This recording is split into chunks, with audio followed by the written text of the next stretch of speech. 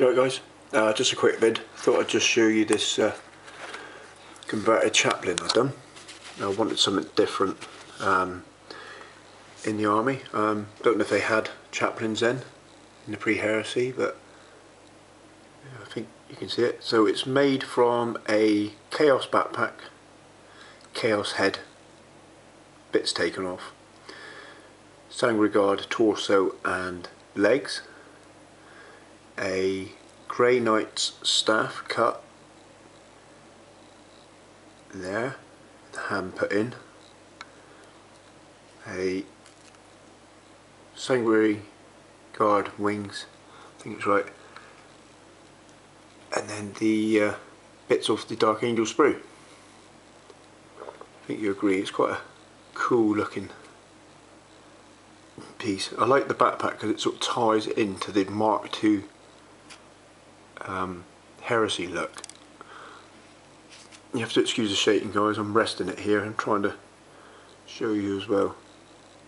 I think you'd think it's a great look. Uh, that's about it guys really. Not more I can show you. Uh, that one I can. This is another one. Grey Knight Sword. Chaos Backpack with the say again Mark II look just altered the uh, position of those bits on the side. Gave him a top knot in his helmet. Because if I can get some heads to tie into that.